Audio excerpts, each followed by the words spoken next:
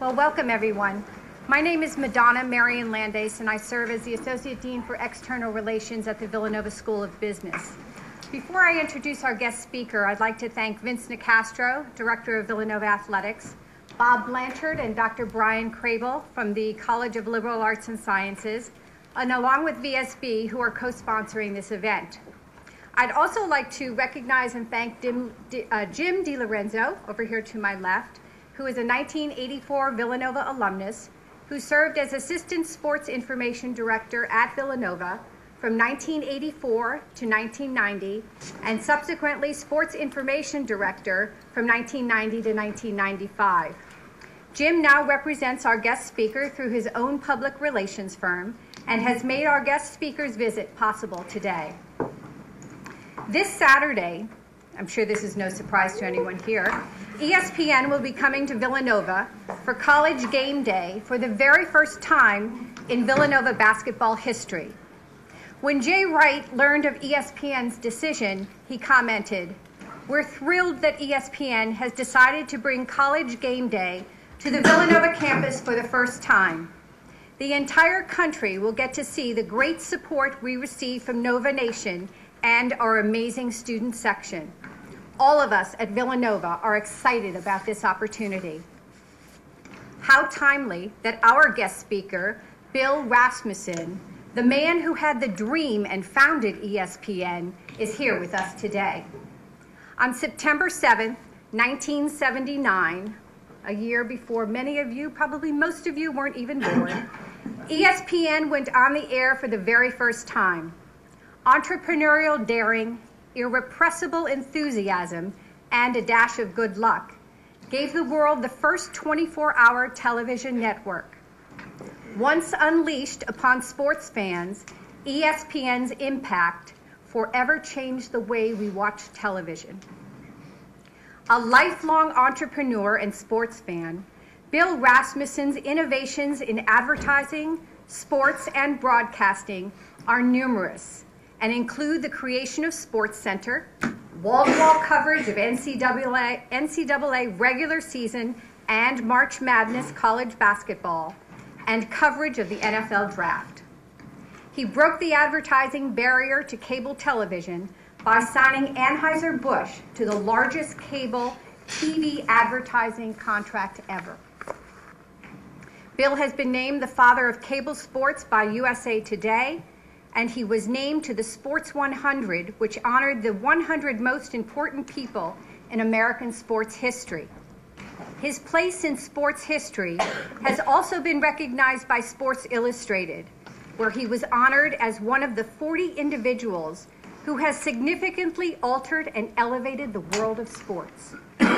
A U.S. Air a U.S. Air Force veteran, Bill received his bachelor's degree in economics from DePauw University and his MBA from Rutgers University. Bill is in the Philadelphia area this week uh, promoting his new book called Sports Junkies Rejoice The Birth of ESPN, where he gives an inside account of how ESPN came to be. And we are pleased that he has carved out some time to spend with us today. Without further ado, let's give a warm Nova Nation welcome to innovator and entrepreneur Bill Rasmussen.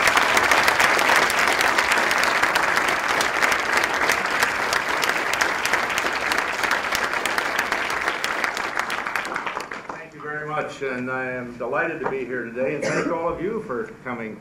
I, am I causing anybody to miss a class by any chance? Not. You don't have to put. Don't identify yourself. Whatever you do, don't identify yourself. I want to echo Madonna's uh, comments about Jim DiLorenzo. Uh, I met Jim about just short of three years ago, and we have developed a strong working relationship. And I have to tell you, every other word out of his mouth is Villanova this and Villanova. I kept saying, when are you going to take me to Villanova? Well, he finally delivered, so here we are. I, uh, looking back, I was uh, sitting where you were sitting many, I won't tell you how many, but a lot of years ago. Uh, harboring and thinking about and dreaming about probably a lot of the same things that you are. What am I going to do when I finish at Villanova? Where am I going to go? How is life going to treat me? What are the great ideas?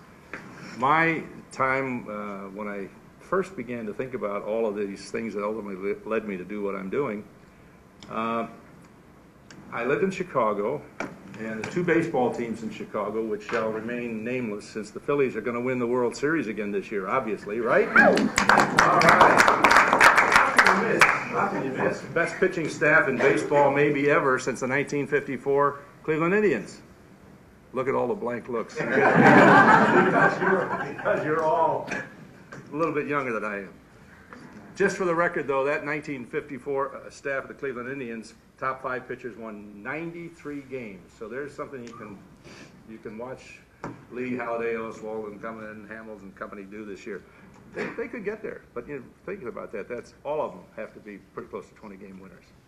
But besides that, I went to this uh, group, and one of the Chicago, both the Chicago baseball announcers were there, and they talked about doing anything uh, you want to do. This was a group, not unlike all of you today. You all have, as I mentioned a minute ago, dreams. What, where are you going to go? You're learning things. You're training your mind. You have your personal interests and so on. What am I going to do with it? And I, what this fellow said that day, I've never forgotten.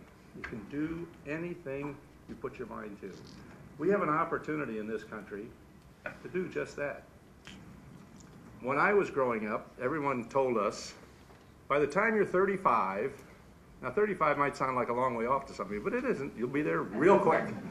By the time you're 35, if you haven't settled in to your career path, you're probably not going to be worth very much as you go through the rest of your life.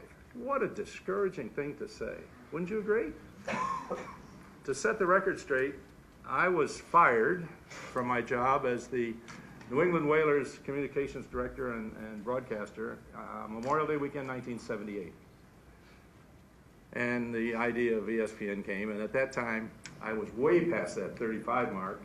And by the time ESPN went on the air, I was at the 47 year old mark. So you see, there is hope after 35, and as you put things together, whatever you think about, don't be discouraged no matter what happens if somebody fires you, if somebody says you can't do this, tell them you can. And sometimes getting fired is a really kind of a cathartic experience. You get rid of all the bad things, you get rid of all the patterns and the habits that you've fallen into, and then you can say, okay, now I'm really going to get down to business. And it, it helps if, uh, as I was, I was married and had three kids who uh, like to be fed. That's a great incentive as well. that really is a great incentive. But uh, I mentioned I was fired on Memorial Day weekend, June 1st, roughly, 1978. And by the following March 1st, just about nine months, all of the elements that made ESPN happen had fallen into place. We had customers, we had programming, we had the satellite, we had financing, and we had our first big advertiser, as Madonna mentioned. Anheuser-Busch was the biggest sports advertiser then and probably still is today. And here we were, months before we went on the air. You have to keep in mind, we didn't go on the air until September 7th, 1979. But in that one nine-month period, roughly June through March, June 78 through March 79, all of those elements fell into place, and we thought that it was the natural progression of events. Since then, I have been startled by how many people have said, You mean all those people did that before you ever even went on the air? yeah. Well, how did you do that? You know what? I have no idea. I have no idea. We had enthusiasm, we had perseverance, we had everybody that worked just knew it was going to, to happen. Um, when I say knew it was going to happen, Madonna mentioned that all of you are maybe not of the era that remembers any TV at all before ESPN. Does anybody anybody uh, in the room remember the old black and white television days and all of those kinds of things? Nobody's going to admit it in front of all of you young people. I can tell you that. In 1978 and 79, there were really only 12. Every TV set came with just 12 channels. That's all there were. No cable TV. Cable TV was a very tiny uh, blip on the business world of television. There were maybe 12, 12 and a half million households that had cable TV, and it started in 1952 and obviously wasn't growing very fast. But the big three networks got a little lazy, and if there's a, me- uh, if there's a message as you go into your chosen profession, whatever it may be, if the people ahead of you are getting lazy or stop, stop being innovative or stop thinking about their job every day, that's another opportunity for you. One of the things that I say to business people, I've had the good fortune to speak to some groups, is even if you're in a corporate situation, you have to be entrepreneurial every day. You have to walk into work, how can I do better today what I was doing tomorrow? How will I do it better of doing yesterday, and how will I do it better tomorrow? Because as soon as you stand still, somebody's going to go past you. And I stand here today as a living example of that because of what ESPN did to the big, big three networks.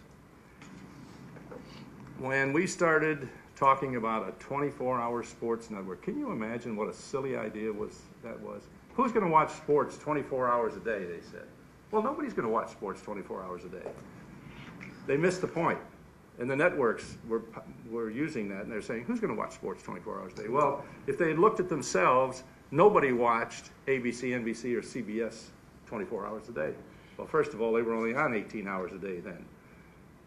It's hard for me to believe, when I look back at it, ESPN was the first, not only 24-hour sports network, but the first 24-hour television network in the United States. There was no Fox, no CNN, no Weather Channel, no MTV. All of those came after ESPN.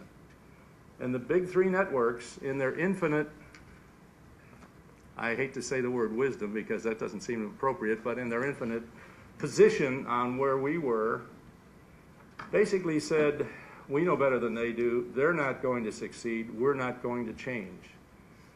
Now, if you look back and you think about that, that was a pretty dumb decision on their part.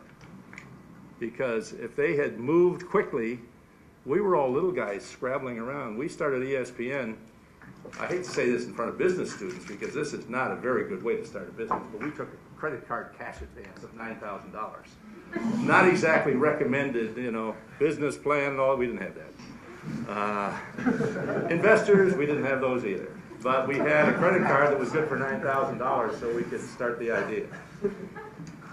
And there's a tie right here in King of Prussia, Pennsylvania, that entered into that. As we took that credit card advance and moved through, we en- engaged a small investment firm out here in King of Prussia, and they actually brought us to Getty Oil, which turned out to be the gusher of cash uh, back in those days that made it all possible. But getting back to those networks, those guys didn't like us very much. And there are some ironies that came out of that. ABC, NBC, and CBS Sports were doing about three to 400 hours each, maybe 1,300 hours total sports every year.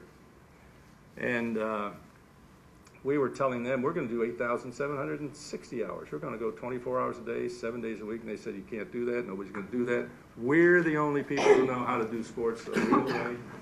And the irony is, the most vocal network sports president was the NBC sports president.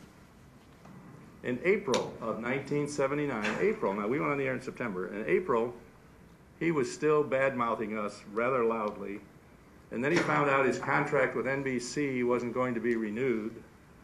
And guess who became an ESPN officer before we went on the air September 7th?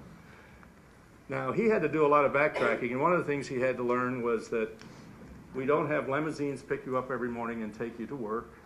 We don't have an executive dining room on the top of the NBC 30 Rock. We don't have all of those things.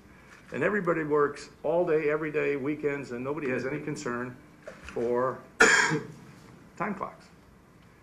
And he also had to learn, as we, as we kidded him, the lingo of cable television about subscribers and MSOs and all of those kinds of things. And he wondered how much we had to pay all of these cable systems to carry our sports channel. Wow. Who wanted, who wants to pay anybody anything? We've got such a great idea. We're gonna have them pay us.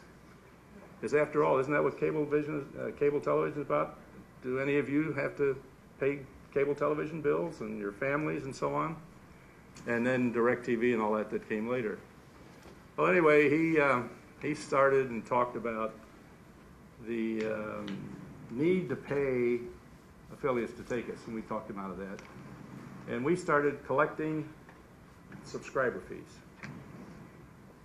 We collected, and this is gonna sound like a real tiny number, two point four cents per subscriber per month. Doesn't sound like a lot of money, does it?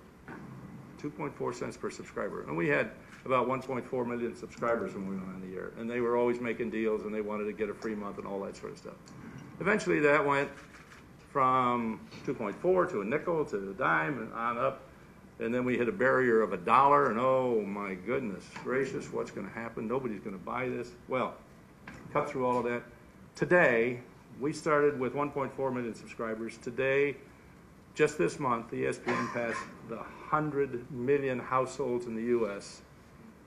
And every month, each of those 100 million households pays to ESPN $4.08. 100 million subscribers times $4.08 per month per subscriber. So when you wonder about how they get the fees to pay the NFL, to do Monday Night Football, to do the ACLS, or whatever it might be, you're all helping them pay for it, and me too, and everybody in the room, and 100 million households across the country. I want to tell you some things about how we got there, but while I'm talking about numbers, these new numbers that just came out from ESPN, they now have 350 additional households all around the world. 100 million in the US, 350 million more around the world, in over 200 countries, delivered in 16 languages on all seven continents. It is just literally everywhere. And it all grew from an idea that just came in a uh, traffic jam on a road in Connecticut back in 1978 when we were working off that $9,000 cash advance. And people ask me frequently, how did, it happen? And I, I, as I said earlier, I, I still look back and wonder how it happened. And if you think about, suppose we hadn't answered a phone call, or suppose we hadn't done, hadn't made a phone call, which is an interesting way. If you think about marketing, I'm sure marketing is on everyone's mind, and it's easy today. As a matter of fact, as, as I'm standing here today and looking at all of you, and I don't know any of you except a few over here on my left, uh, any one of you and I could have an idea, and in 10 minutes from now, we could have, we'd have our URL, call GoDaddy or somebody, we could have it, and we could sketch out something, and we and we'd announce our idea to the world. That's pretty reasonable. It could happen that fast, right? How do you think we marketed ESPN? Didn't have computers, didn't have faxes, didn't have email, didn't have internet, didn't have any of those kinds of things. And sometimes I'm asked, and a lot of people, depending on where they are in the, uh, in the age range, talk about how did you do that? Did, was it all faxes or did you just email everybody or whatever? Not realizing that's how new everything is. And there have been new technologies since some of you started here at Villanova have come on the scene. We had to do it the old fashioned way. We had to pick up the phone and call somebody. We had to get on a plane or a car and go see them. Or we had to put stamps on an envelope and mail press releases. Can you imagine that? Mail like the old fashioned US Post Office. And who did we mail them to? Well, we didn't have a way to go to Google and find out who was interested. What we had to do was we got these big thick directories and people would sit down and go through and pick out the names of sports directors or television reviewers or whatever it might be and we would generate these press releases. Well, that was really exciting and we kept mailing these press releases and mailing these press releases and mailing them and nobody called. So we decided we must be doing something wrong.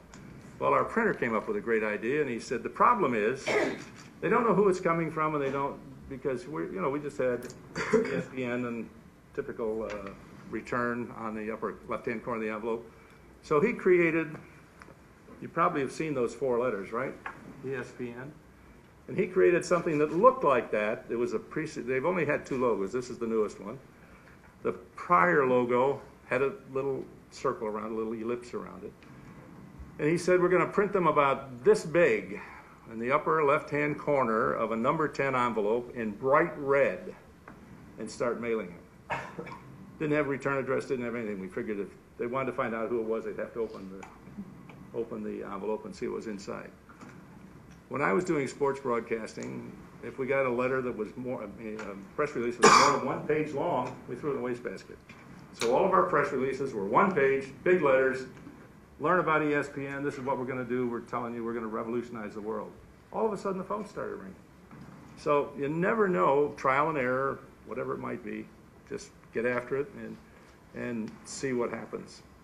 What happened was the most amazing company in media history was born, and now SportsCenter is the longest running television show. More episodes of SportsCenter have been aired than any other show in television history. And it's seen around the world, and it competes with Coca-Cola and Pepsi-Cola as the most recognized brand in the world. I don't know what happened to McDonald's. They must be going south on us here. But to get, get back to the, the way that this unfolded was, uh, was rather miraculous. We got fired. We, uh, I was supposed to go talk about the Hart, uh, the Hartford Whalers on a TV show the following Tuesday after Memorial Day weekend. And I called the guy and said, you know, you probably don't want to talk to me about the Whalers. They just fired me. He said, let's talk anyway. And we thought we'd have a great idea, something, we'd come up with something for the state of Connecticut and the cable systems in the state of Connecticut. Now, I don't know how many of you are familiar, you heard me say now there are 100 million cable television homes in the United States. In 1978, in the state of Connecticut, there were 10 franchises and only five were active. And the largest one had 9,500 subscribers. We could have charged $4.08 back then, and we still wouldn't have made any money with that small a base. But what we did have was some cable people who were interested enough to help us learn about the cable industry, which, which always reminds me that no matter what you learn in a classroom, a business school, communication school, whatever it might be, you will never know everything about everything. Never be afraid to say, I don't know, I'm gonna go ask somebody. So we said, we don't know, we don't know anything about this satellite business. Well, it turns out these five cable operators were uh, active and the five that weren't all came together in a meeting. And our host said, uh, Bill wants to talk about some television and he's got some ideas about sports that we think are pretty exciting. Can we help him out? Can we tell him, what do we know about cable? One guy raised his hand. He said, Well, you can buy all of New England for something. And the guy on the other side said, No, you can't do that. You buy everything east of the Mississippi. And another one said, No, you buy weekends. Another one said, No, you buy weekdays, you know kind of crazy. Finally, one guy said, Got a great idea. Pick up the phone and call RCA because they do really know what they're talking about. It's their satellite. Now, can you imagine? I'm a little guy from the south side of Chicago. I just got fired from my job, and I'm going to call one of the largest corporations in the world, and they're going to pick up the phone and say, Oh, hi, Bill. How's everything today? Right? Guess what? They did. I didn't know, and this is one of those things when you don't know something, some good things happen. I didn't know RCA had launched this satellite and could not give transponders, which is the channel, couldn't give them away. Each satellite that goes up has 24 transponders. They shot up uh, SATCOM 1, launched it. The military took 12 of the channels. The other 12, they were trying to sell to people, turned out. HBO bought five hours a night. Somebody else bought two hours in the afternoon, and they counted that as a sole transponder. But essentially, they had all of their transponders empty. So I miraculously got through to the uh, satellite communication sales group. Fellow answered the phone and said, "Where are you calling from?" I said, "Wow, why?" He said, "I'll be up there tomorrow morning." I didn't know at that point they couldn't give them away. So he came up and he said, You can buy this for $1,250 a night, five hours. no, we want something else. So we went through this whole thing. And at the end of the day, he said, We have another item on the tariff. We've been trying for three years to get somebody interested, and nobody has even talked about it, so we took it off the tariff. It's 24 hours a day, five years for $34,167 a month my son, uh, who some of you may have seen some of his work, Rasmussen Reports, he's the, the pollster that does that. He's pretty quick with numbers, and he said, That can't be right. He said, what do you mean it can't be right? He said, I, I just read it to you. And he said, well, that's $1,143 a day for all 24 hours, and you told me it's $1,250 for five hours at night. That's the tariff. That's, you know, well, we said, thank you very much. We didn't, didn't really know what we were talking about. Tell you how bad this was? And if I asked you quick, you might, any, some of you, if I asked you point blank, you might have the same problem. Are the two T's in satellite and two L's, or one T and one L and two, and where are they coming in? I couldn't even spell satellite, and I didn't know what a transponder was. so the next morning, we called RCA Bank and said, "We'll take one of those things." We couldn't tell him what it was because we didn't know what it was. so he said, "One of what things?" We said, "One of those 24-hour things you told us cost $34,167." His answer was, "You will." you will? He was startled. And so we got that. Now, from a business point of view, the thought may have occurred to some of you. Let's see, you said $9,000 credit card cash advance, and this is $34,167 a month. How are you going to pay for that, right? We didn't know. but RCA was having, as I mentioned, problems getting customers. We'll make a deal we won't send you a bill until 90 days after the first use. Okay? Keep that 90 days in mind. And then we have 30 days to pay the bill. Now, this is, now we're into August and we're starting to think about doing some uh, demonstration programming for the cable industry. We're going to send some things over the satellite just so they can, you know, we publish it or promote it so they could get an idea.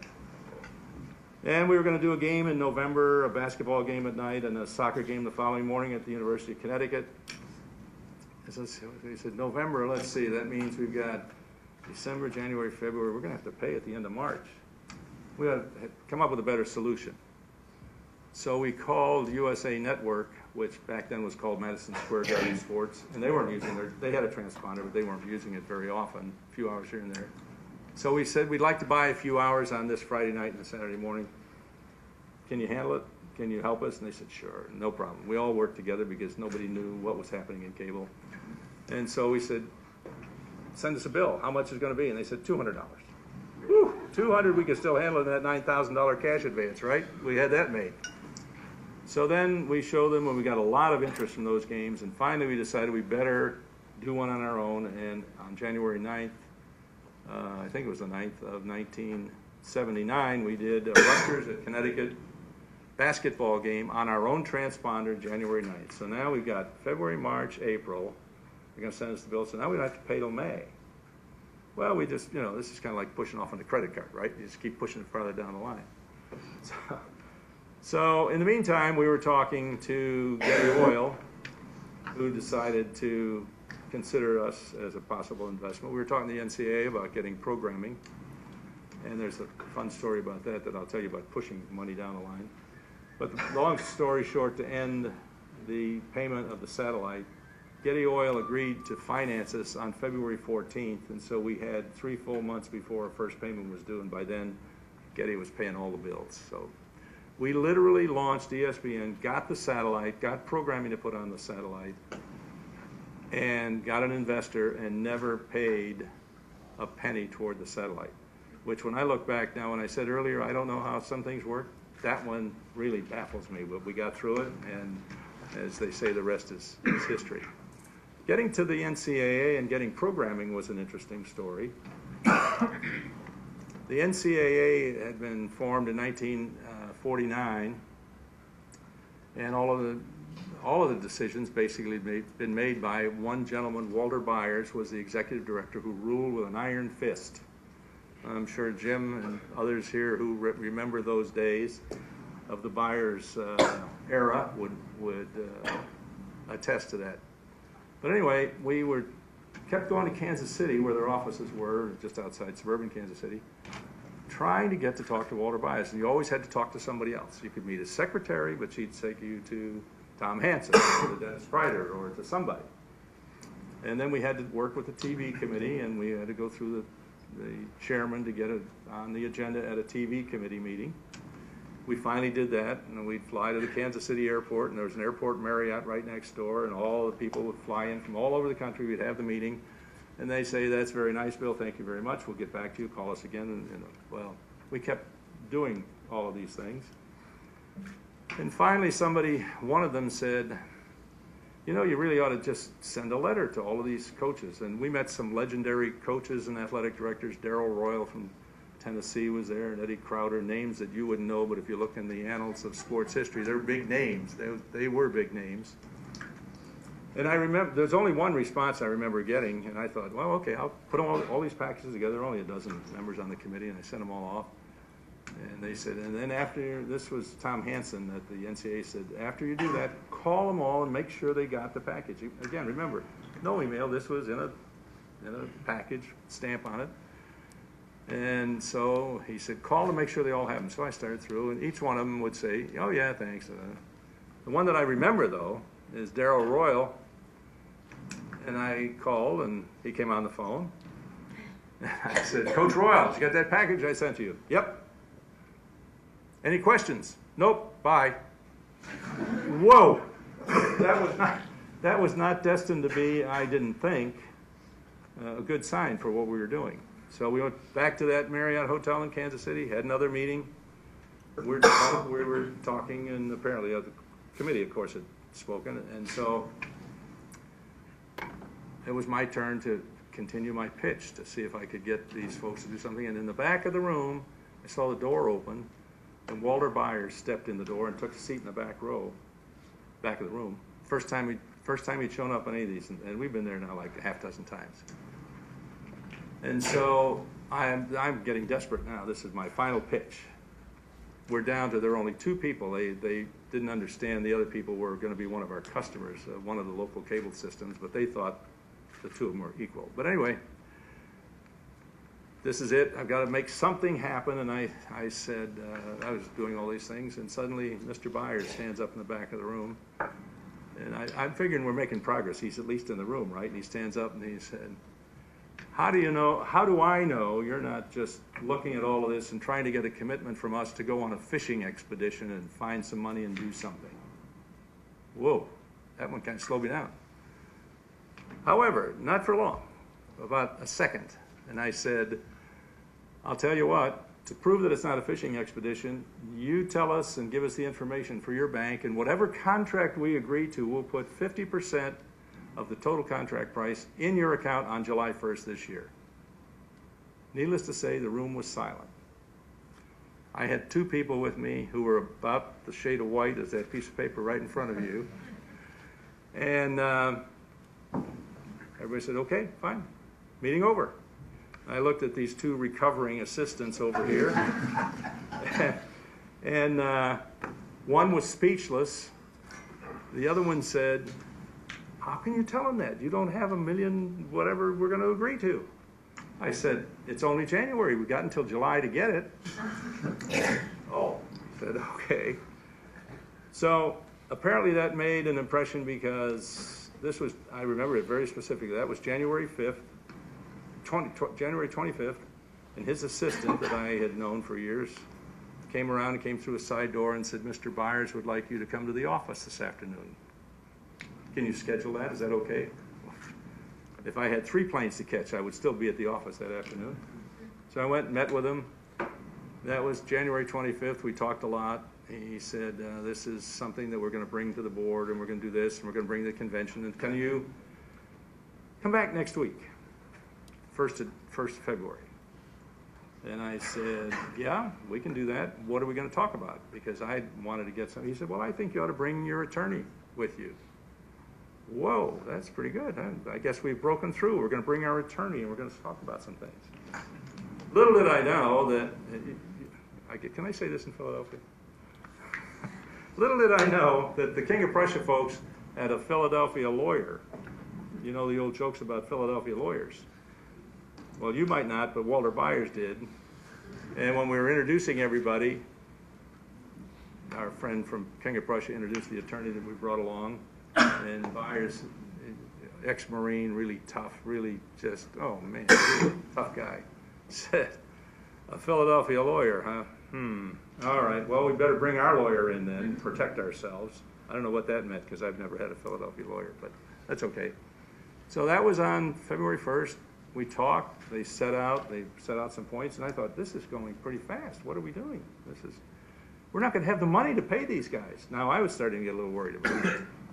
So we went back on February seventh, and I said, we're going to the Texas Cable Show tomorrow, February 8th, and we would like to announce that we have a deal with the National Collegiate Athletic Association to provide programming like it's never been provided before to all the fans of all the colleges and so on. And Walter Byers, uh, he was sitting here at the head of the table, and I was sitting right here, and he looked over and he said, you bring your checkbook? I said, even if I did, it wouldn't make any difference, there's no money in there. Well, my white, friends who had faded white before, faded white again, because now I've admitted that we don't have any money. So the next thing, I said, you know, we could, uh, really, can we say something tomorrow at the cable convention that we're kind of talking, and we have a general agreement? He said, do you have, uh, yeah, he said, we can do that. He said, that's about, um, hmm, and he was doing, he literally, was kind of like, that's about a um, hundred thousand dollar request. Do you have your checkbook for that? I said, no, same answer as before.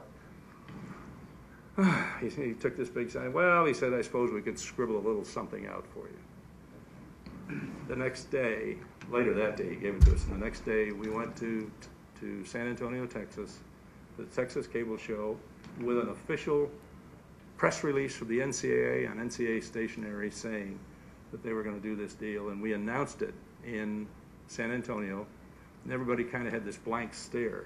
What do you mean? What's all of this? This was a big convention, and a lot of people hadn't heard about us. And the only thing that I remember is after my little five minute, we're gonna give you the world, we're gonna do all this, and we're, on and on and on. A gentleman came up to me on the way out, and he's scratching his head, and he said, and I can't imitate the Oklahoma accent, but believe me, he had one. and he said, if y'all can do half of what you just said, this is going to be the most successful network in history. Pretty prophetic, wouldn't you say? Wow. Never saw him again, and I assume he became a customer because everybody's a customer now. but we had uh, really interesting negotiations, and on March 1st, we signed a contract. And that completed the cycle from when we began the whole idea to the time that we said, this is really going to work. Now, unfortunately for us, we didn't have a building to put it in because we hadn't bought a lot just quite yet. Uh, we did finally uh, buy a piece of land from the from the uh, New Bristol Redevelopment Association. Do you know what a redevelopment project really is when they sell that land? Some of you young people might have ideas, certainly some of the people who've heard this before certainly know. That's when an area has been designated as a dump, it gets full, they level off, plant grass on top, and start selling the land as a redevelopment area. The only good thing about it is it's really cheap land usually. So ESPN was founded on a piece of land that cost us eighteen thousand dollars. And we put up our one building on that piece of land. And Today, they have nearly two hundred acres. We had our two satellite dishes out front. Today, they have hundreds on the hillside in Southington, Connecticut. And it's uh, grown from originally our first Christmas in 1978. We had two tables of four at the local Holiday Inn dining room. That was our Christmas party. The following Christmas, we had 80 employees. We went on the air with 80 employees. And we had to take the Holiday Inn ballroom because everybody brought, you know, the whole 80 employees and the rest of their fans.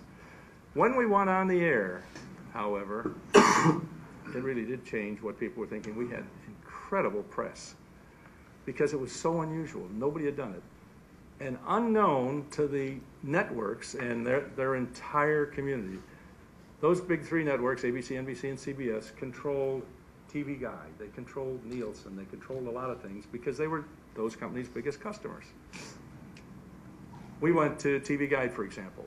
Here's an interesting business no-no. We went to TV Guide, said, why won't you list us? Why won't you list our programming? You know what the answer was? From a vice president TV Guide was located right near here, by the way. Vice president said, we can't list you because real networks only have three letters. that works only, what kind of a business decision is that? Here's a paying customer. Well, we've got too many letters. Well, we kept, we were persistent.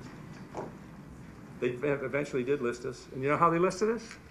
ESN, three letters. They never gave up, but they conceded that we were a network at least, so they, they put us in.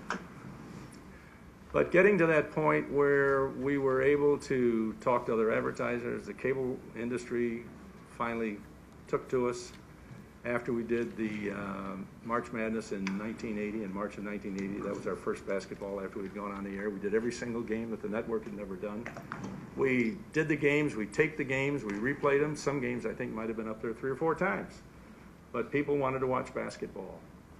And we started in September of 1979 with 1.4 million subscribers. And the following September alone, now Ted Turner, Ted Turner had gotten up to about three and a half million subscribers with his super station, which was only on 18 hours a day at that point.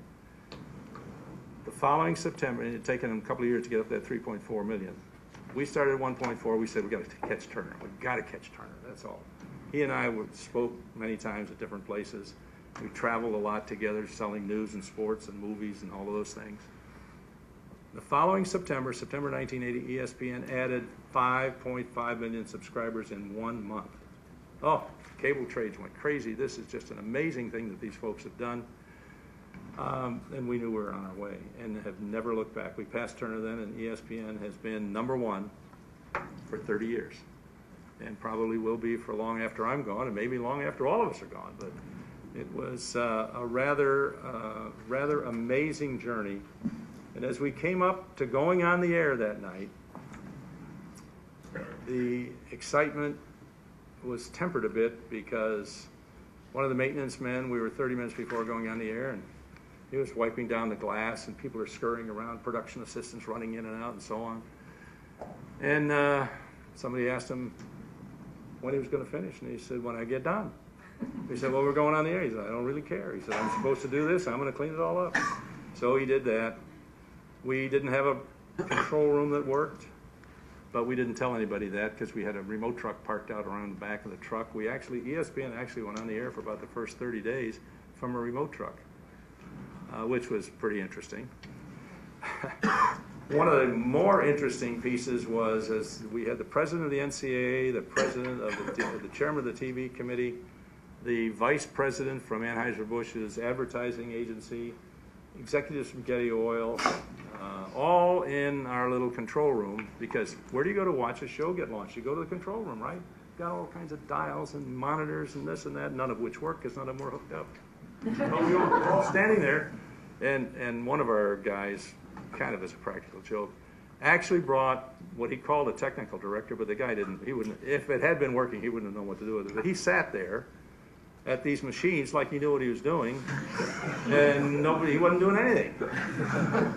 And so we went in and uh, we got to our first program, and the announcer said, and now, ESPN's first presentation of live television. This is a sample of what we're going to have, and it goes through this whole thing. It's the World Pitch Softball Championship World Series from Louisville, Kentucky. Did you happen to catch that this year? I didn't. I, so, so he, then he went on and said, and now here's whoever you know. Here's Charlie in Louisville. Charlie, take it away. And so he comes on and says, Good evening and welcome to the mm-hmm championship series from such and such stadium here in Louisville, Kentucky. Tonight featuring the Kentucky Bourbons and the Milwaukee Schlitz. Brought to you by Budweiser. know who's standing right here? Guy from Budweiser, who had just spent a million three hundred and eighty thousand dollars for exclusivity, one year exclusivity little business uh, disruption there for about 30 seconds, and he looked at me and he just shook his head. And I said, "Why didn't the Bud team win? You know, I mean, what can you say? It's just the way it is. You have to have to go." So we had we had a lot of a lot of fun with those kinds of things. Uh, there are countless countless stories about the construction of, of the buildings. Um, guys falling down in the mud with a stack of tapes, uh, directors tripping and falling. I mean, it was, it's just, it's crazy. It's amazing that it all got on the air, but it really did. And uh, one of the, one of the most amazing things to me when I look back is nobody, nobody hesitated from the very beginning. We went on the air the very first night and said, this is it. This is where, this is sports headquarters. From here on out, this is where you're going to, who even know where Bristol, Connecticut was. And we're telling them it's now the world, sports capital, the sports capital of the world. And um, turned out to be a, a pretty good one. And today, for some of you who think about what other involvement ESPN might have, they are very, very involved in the city of Bristol. They, they have uh, helped create parks, and, and eh, some of you, I'm sure, have seen these really, what I consider really great commercials for Sports Center. Roger Clemens throwing somebody through the front window, or Jorge Posada walking along, or Grant Hill playing basketball. You know what those guys do when they go up to Bristol to do that? They go down to local parks, and the kids are down there. And I remember the first one that I heard of was Grant Hill and a couple of his buddies were there, basketball players, pretty high level basketball players. And some kids were playing on the court, and they went down, just stood on the side like they would have in their own days when they were in high school, and said, you know, next in, and so on. And guys saying, yeah, yeah, and they looked over and recognized who it was. You know, and of course they got in, and these kids, they played with the kids, and uh, obviously they had a lot of fun. Grant Hill and his buddies had a lot of fun. But I've often wondered when those kids went home at night, how many do you think, how many of their parents do you think really believed them when they say, "Hey, played a few rounds with Grant Hill down at the ballpark, uh, down at the court today." oh yeah, right, okay. no, really, he was here for ESPN. Yeah, sure, he was here. I'm sure some parents still still don't believe it to, to this day. But it was a it was an amazing time. And it really, really all started. We're going to get some questions here shortly as we get into the question time. But I wanted to, uh, for those of you who might not have seen it, it is someplace on YouTube. You can go find it, and some of you uh, may have already seen it. But from the very instant we went on the air, we declared that we were, this was it. And Lee Leonard, an announcer from North Jersey who had worked at NBC, came up and delivered the first opening lines, and those opening lines really have been etched in my mind for a long time, as you might imagine. If you're a fan, if you're a fan, what you'll see in the next minutes, hours, and days to follow may convince you you've gone to sports heaven. Beyond that blue horizon lies a limitless world of sport, and right now, you're standing on the edge of tomorrow. Sports, 24 hours a day from ESPN, the Total Sports Cable Network. Wow. We said, we just sat there and told these people, and we're one minute in- our life, and we're telling everybody, you come here, this is where it's gonna be, baby, we got it right here, we have had it there ever since. So, it's been an amazing adventure for me, I've had the absolute delightful opportunity to speak to groups like you all across the country, from Los Angeles to Virginia to Maine and all the places in between.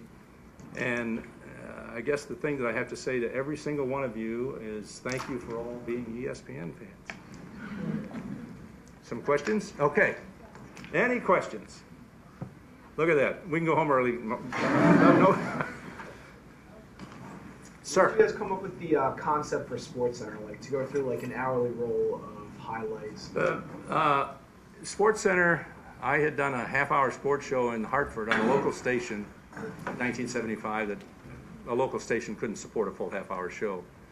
But that idea was kind of in, in my head, and when we were driving on that fateful day in October from the, I mean, in August, from the, uh, from Connecticut down to, in a traffic jam down to New Jersey and back, talking about what we're gonna put on, what we're gonna put on, I said, you know, we ought to do this half-hour sports show.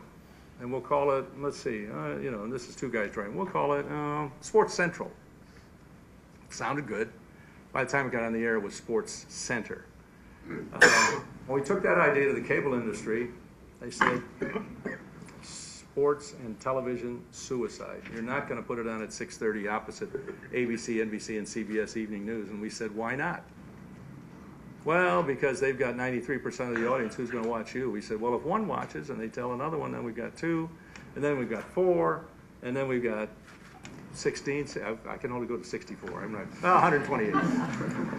Uh, And in that, at that time, and we said, yeah, we're gonna, we're gonna do it, and we did. We started right off with it, and it is now, today, there have been more episodes of SportsCenter aired than any other program in the history of television. And their viewership on a monthly basis is 100 million households. So it went from one to two to four to 16 and on up to 100 million. But it was just, uh, I had been a sportscaster, and you get three and a half minutes of real time, and there's just no way you can get all that sports news in. And So now ESPN, I think, maybe one of you, I don't really know, I think they do like, is it 16 hours live or 12 hours live, something like that. They just keep going. It's, it's amazing. Sir? Um, well, when did you first launch ESPN uh? Well, that's an interesting question because one of the knocks that everybody was trying to tell us 24 hour sports will never work. Who's going to watch sports? Now you're going to have saturation. It's too much sports. And I believe it was, I'm going to say 1990, early 90s, ESPN 2 came along. Oh, now you've really done it. Too much sports. Saturation. Who's going to watch? We've got regional sports networks. We've got team sports networks. And now you're going to try and do another 24 hours? Fast forward to today, ESPN now has 52 networks 24 hours a day around the world. 52. And people want more. It's just amazing. The, uh, I don't think sports fans, I don't think there is a saturation level. Some fans want basketball, some fans want lacrosse, some hockey, rugby, name whatever it is, but, and then Sports Center and shows like Baseball Tonight and the NFL on Sunday morning, those are just tremendous audience builders. So, I don't know if there is a saturation point. It's uh, Fox, Fox Sports is out there, Comcast Sports, the regional sports networks get bigger, bigger, and ESPN is forever looking to do more and to do better. The, uh, the characters at ESPN, 40 people that started with us in that first year are still there. 40 people. We only had 80 when we started. So when you start thinking about experience and ideas, I have to tell you, I have to tell you one. Do we have any lawyers in the room? Anybody planning to study law? Should- Okay. Don't ever sue ESPN because they'll win. Today they have the money to win. Back then, when we started, the, I, the rule for um, public domain of any game or any TV clip, I believe, was 22 seconds, 20 or 22 seconds which means that I could come to any TV station and take 22 seconds of a Major League Baseball game or whatever, but boy, they were really strict. It was 22 seconds. Well, CBS, following, and I have to tell you, the, the, the pecking order in the networks is CBS considers themselves kind of the Tiffany. They look down at the other two networks. NBC is rich because of RCA, and ABC, of course, belongs to ESPN now, so go figure that. But, but uh, CBS in that day did not want us to be carrying their highlights, even though by law we could put them up. So they naturally threatened to sue us. Isn't that, isn't that what's great about America? You don't like it, sue somebody. Well, we didn't want a lawsuit, obviously, but what are we going to do? We weren't going to stop carrying the clips. We had a production man who was very inventive, and this is this doesn't come from classes or studying or whatever. It comes from ingenuity. It comes from knowing all of the players. He went out and hired six college kids, put a bright red ESPN jacket on them, and on the back was about the biggest logo you could find in white letters, ESPN. And he said, Where is CBS televising this week? They were televising it wherever it might have been. And the instructions for these six kids were to take a paper clip, I mean, a, a notepad, and, and go along the sideline. His instructions were stay on the side where the cameras are, never take your eyes off the field, and have at least one of you in the defensive backfield roughly looking in, and one of them over here looking at the offense, and somebody always, always, always on the line of scrimmage. And just kind of float up and down the side of the field with the play. Well, oh, Monday the phone rang, CBS, you can't do that. You can't do that to us because you know what that did? CBS had ESPN in every single second that they were on the air. they were promoting us. So they called, and now they were really gonna sue us. They said, you can't do that. They said, well, the rule, and, and Jim can tell you, if you have press credentials and you have sideline passes and whatever credentials you have, then we had enough clout at that point at least to get those sideline passes. So CBS was just furious. And they were drawing the papers. We're, we're we're gonna, we're gonna, is that what you do? I don't, know. you draw, you, whatever you do, preparing the documents. So, we did it the following Saturday.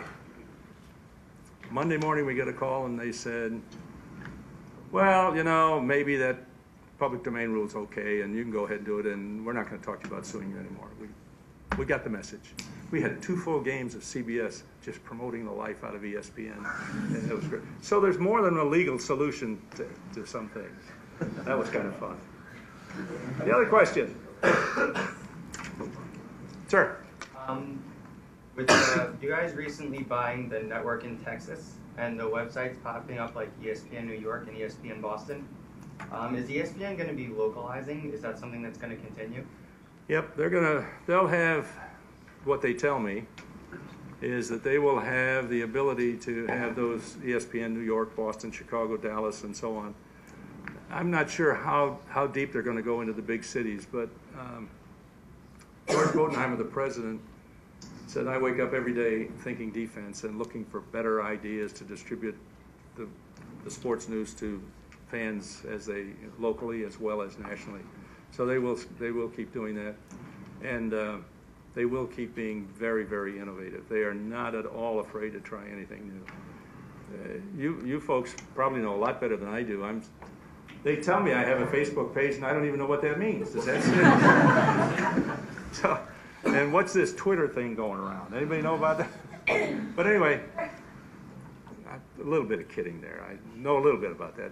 But, but if you think back to the progression of TV, it's been, it was free to air, and then it was cable, and then it was, um, well, HD TV came in, and the internet, and so on. And now the next iteration, I'm told, because I don't know very much about any of that stuff from a technical point of view, is IPTV. Does that ring a bell with any of you? Internet Protocol TV, which is direct basically your campus here could be a TV station and you can broadcast to your own specific slice of the world.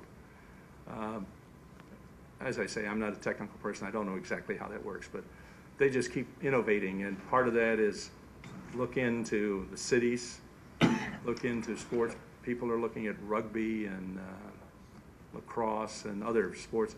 And there's a great move to go down to the high school level. And uh, you might not remember, let's see, 11 years ago at, do you, do you remember Y2K? Does that ring a bell with any of you? Is that, yeah, back then, this was really going to be a bad thing, but anyway. The um, Wall Street Journal had an article on either January 1st or December 31st, talking about what all has happened in the 20th century as we've come forward and all the development. And they, and and I remember one of the lines that they said was, we have reached the point where every athlete with a number on his back has a camera following him around all over the world. And we're also soon all going to be watching that. And it's almost coming, it's coming to that. It's amazing how, you know, high school kids, they're down, uh, what's it, USC, that just signed a seventh or an eighth grade quarterback or something. It's- I mean, this is crazy, but it happens. Another question? Yes? Uh, What is your level of involvement, I'm, I'm sorry? your level of involvement with the company? I- I'm sorry. What is your level of involvement with the company? Oh, I get the good fortune of going around talking to it and they can't fire me. Every time. Uh, Everybody that started ESPN, including Getty, in 1984, June 25th, 1984, Texaco bought everything. Uh, Then Texaco spun off the network, and, and when they bought it, everybody was, all the original uh, people were out. ABC then bought the, from the ESPN from Texaco. Cap Cities bought ABC, and then Disney bought all of them in 1993 or 4. And today, the biggest single profit item to Disney's bottom line is ESPN. They make, they, uh, I don't have the exact number, but it was something like five billion dollars after taxes, interest and depreciation last year. That's, that's a pretty big number from starting at two point four cents per subscriber. Sir? Uh, when was the first time you decided to try to put an NFL? Oh, we, I, I had talked to Pete Rozelle in uh, the summer of 1979, before we even went on the air. Because obviously, the NFL, Major League Baseball, and so on, uh, were, were going to be key in, in the future years. And Rozelle was a, uh, was the commissioner of the National Football League at that time. Very respectful, very interested, and uh, I was mentioning just earlier today, I remember his words very plainly. He said, "Not today, Bill, but sometime, someday." And he uh, came through, and within, I think it was eight years later, we split a package of Monday night. They wanted to experiment with uh, TNT and E ESPN. We each got a half season, and then the following year, ESPN got the contract. And the most amazing thing to me is hearing Monday Night Football on ESPN. That was been a, had been an ABC property all of my life, all of my NFL Monday Night Football life with Dandy Don Meredith and Howard Cosell and Frank Gifford and so on. And uh, four years ago when it came on and I heard that first, wow, Monday Night Football on ESPN. And we were showing Australian rules football just 30 years ago, some Canadian football and little, you know, little this and a little that. But um, I think all of the sports, I think baseball tonight has done amazing things to build a Major League Baseball audience. And uh, the uh, NFL says they've just had their most successful year. So each, and, and the college sports, each of, the- each of the conferences, the um, Big East Conference, uh, the SEC has signed an amazing uh, contract with ESPN and CBS Sports. What surprises me today, and maybe some of you are going to be the people who are going to be inventing these kinds of things. Some of the big contracts today that have been signed through 2025, and I don't know the, the legal term if I was a lawyer, but basically what they say is, we own all of your rights, okay? We own your TV and your radio and your internet and your this and that. And then they have, and this is clearly not going to be stated the way they do it legally, we have the right to all of your content distributed over any technology that has not yet been invented. How is that for being powerful? In other words, they're saying, if you think of something new in 2018, since our contract goes to 2025, we own those rights. Whoa, that, that, that's a pretty powerful contract. So we'll, we'll see where that goes. Yes? Um, after Larry Bird and Magic Johnson helped redefine uh, the uh, tournament in '79, how much of a factor would you say that the further development of March Madness had on ESPN in the early to mid '80s? There's a, and it's interesting that you say it that way. That game that you refer to, which obviously we're all aware of, has grown in stature in the years. Literally. It was another game, and I mean, Michigan State, Indiana State, wow. It's going to be a blowout, but because of Bird and, and Johnson. But it has gained in stature because of the careers that Johnson and Bird had in the NBA. ESPN started. I, I remember going to the Final Four in uh, 1980, I guess, 1979, maybe it was 79. Didn't sell out. It was in, in Indianapolis. They, they didn't sell out. Um, today, they hold lotteries for tickets for the Final Four. They sell them a year in advance, and the prices have gone up. It's, it's an interesting combination, you know, chicken and the egg. ESPN started promoting it.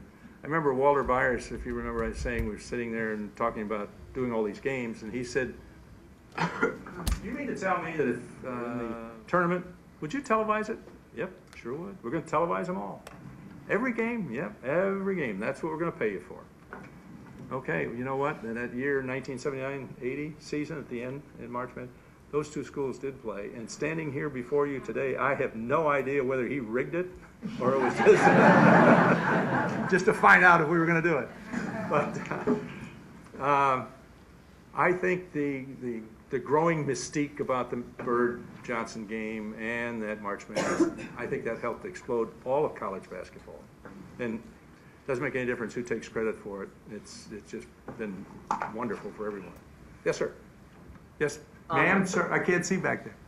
Hi. A common criticism of Sports Center is Yep. the kind of Brett Favre syndrome. You know, first five minutes is has he retired or not, kind of repeating those stories. Is there anything ESPN does to try and avoid, you know, repeating the same story quite so much? Or The only thing that helps them avoid repeating the same story is to have more and more sports events happening, and I think they they keep inventing some new things. But uh, their theory is, some of you may remember in the early days of CNN, and I don't know how long they did it, but they started another network and they they uh, went down the theory that give us 22 minutes. Their saying was, give us 22 minutes, we'll give you the world. And they basically repeated that same 22, 22, on the theory that not every person watches anywhere near as avidly as people watch Sports Center. People get addicted to Sports Center, and you watch hours of it, and so you, you see some, some things come around. Uh, I, I think that they, the producers all have a sense of what is happening and what's new and what's breaking, and as soon as the newest, greatest thing happens or the greatest highlight comes along, they come forward and, and away we go.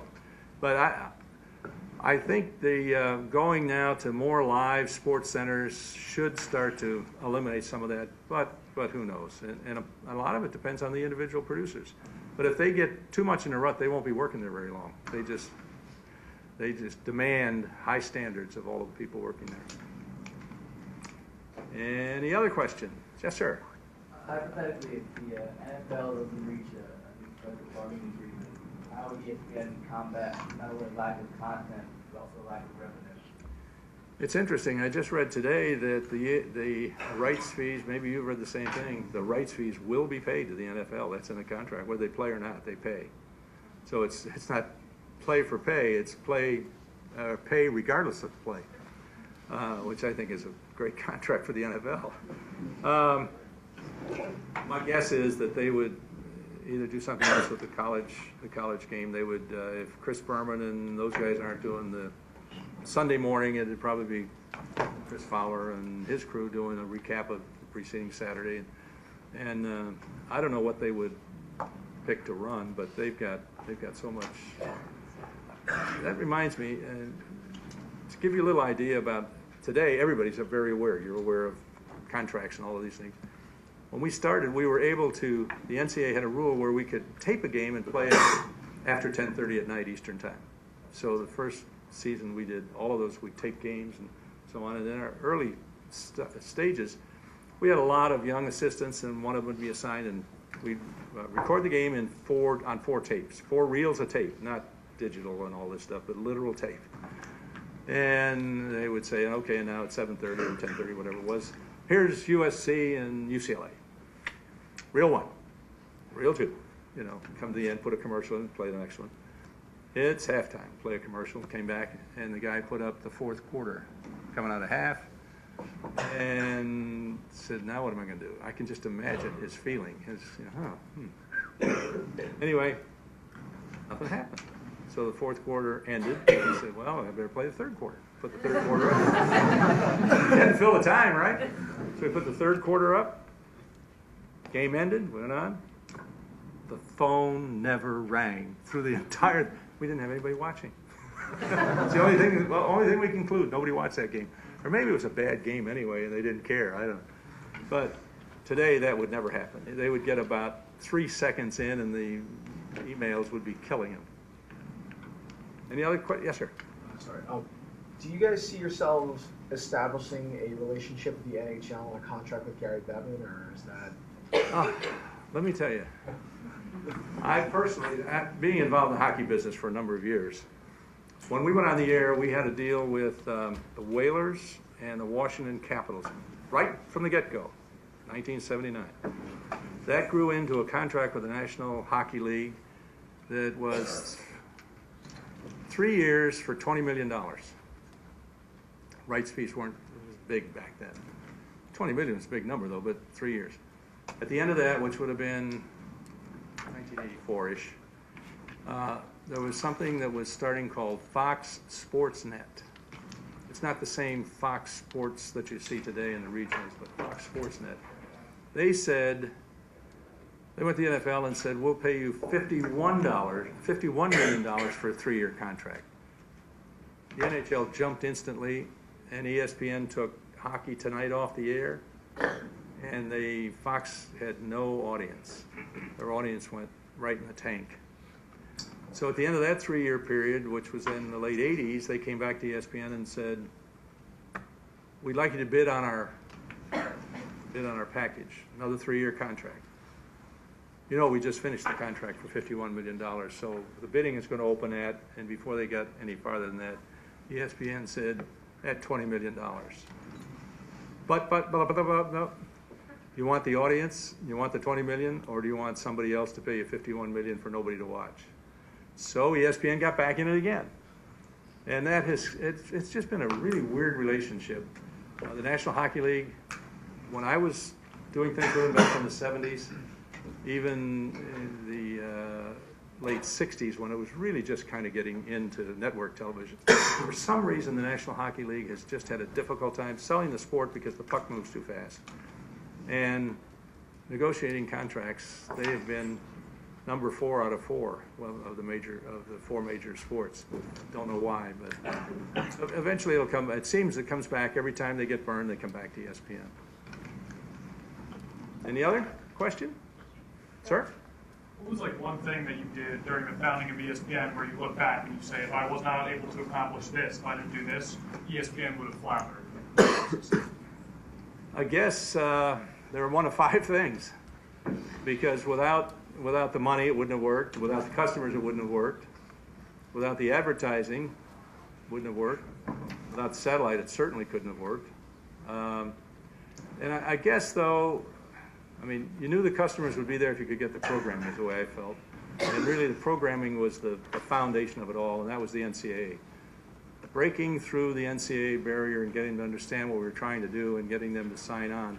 And the NCAA in those days had such prestige. We were, we were little guys, and here was a big, very visible company, not company, entity, NCAA, saying, yes, this is a good idea, and we're, in, but basically they endorsed us. They agreed to do some business. So if I had to pick one thing, I guess it would be the NCAA programming, and then going down from that, the first NCAA uh, March Madness. So the NCAA was, was critical. Without that, we couldn't have found it enough programming to fill, you know, half that time. Sir?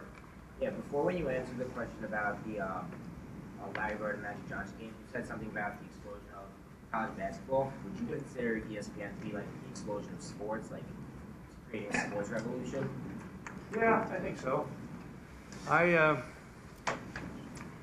other people have tried it, uh, but nobody got anywhere near as far along as quickly as ESPN did. And it soon became evident that players wanted to be seen on SportsCenter, and then they wanted to be in the top 10. And I think that some of them must keep, they must have somebody keep track of them, and how many Big Ten, uh, top 10 appearances they get affects the next contract negotiation or something, I don't know.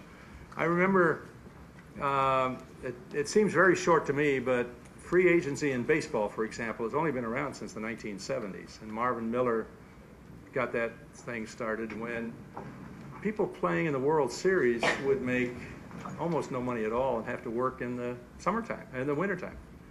And now the Major League Baseball salaries are like averages three plus million dollars. And there was a stretch when when salaries began exploding where I actually, I had already left ESPN by that time. I was technically there, but not working every day. Um, people call me and say that it's my fault that salaries are going up, like I, you know, like I had something to do with that. And then I'd say, you know, no, no. And then they, well, it's really ESPN's fault because players now have so much more to talk about, and there's so much their egos grow and their payrolls grow, and the agents are taking advantage of it. So yeah, I, I, the explosion, I, explosion of sports, explosion of salaries, and also explosion of audiences. More and more people go to games today than ever before, which is really uh, kind of a paradox. When we first began talking about television at the local level, television sports at the local level in the 1960s, and even into the mid 80s, the knee jerk reaction from big schools and professional teams was if we televise the game, nobody's going to come to the game. And I would, my answer was, if you televise the game, you're selling your product, and more people are going to come to the game. And it wasn't just little guys. I remember the University of Michigan, Don Canham was their athletic director, considered the guru of college marketing, and he was adamant. You can have three games, and I know I'm going to take a hit in my attendance and so on, but it'll probably help in the long run. I think Michigan is sold out now for, um, I don't know, 422 straight games or some such thing. Over 30 years, I don't think they've had an empty seat in the house. But there was a, a strong feeling among a lot of people that to televise a game was to hurt the sport. But when ESPN came along, turned around, and now I think everybody clamors for television. Yes, ma'am? Actually, what you're talking about right now is, is pretty interesting. Villanova right now is, is our board of trustees and president are deciding if Villanova should join the as a football member. Um, what do you think uh, would be advantageous for Villanova to really look at, think about in terms of? Money. they get paid a lot of money. The, uh, the conference splits on ESPN televised contracts and so on is, is very, very lucrative. But also, people all over the country are going to see Villanova. It's going to be, I remember Jim Boeheim uh, early on when the ESPN got going was talking about uh, how wonderful it is now to cut into John Wooden's recruiting hometown, home backyard because until ESPN came along, Californians would recruit in California and New York, you know, and so on. And so you get the visibility and you'll get recruits from all over the country. You'll get students from all over the country because you get to tell your story, your own story in those games. Speaking of stories, can't do this without a commercial, right? and now we'll take time out for now. We'll be back after. This, uh, this is a paperback version that you can find on my website, espnfounder.com. Uh, just today, it's also out in Kindle. Probably a lot better if you didn't carry it around a old pile of paper, right? Uh, it's it's all a lot of the things. It's all of the things that we talked about here today, plus a lot more uh, up leading up to the launch of ESPN. Uh, Sports Junkies Rejoice. I got to look to make sure. No, I don't have. Sports Junkies Rejoice: The Birth of ESPN, and uh, it's a fun read. And you can ask. And, and today you can ask a lot of people. A lot of trivia contests because not many people remember those days. Your parents might though. They, you might test them. Anyway, our that's the end of our questions.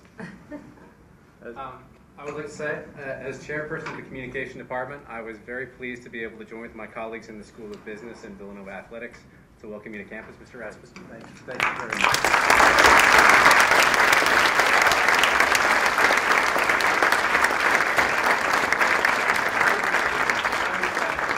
I'm especially very grateful to have this opportunity because not only does your story sort of bring to light three things that are passions at Villanova, and that would be sports, entrepreneurship, and also broadcast sports, um, but also because I think your story encapsulates something that we at Villanova really emphasize, which is that one individual actually does have the power to change the world. So thank you for sharing your story.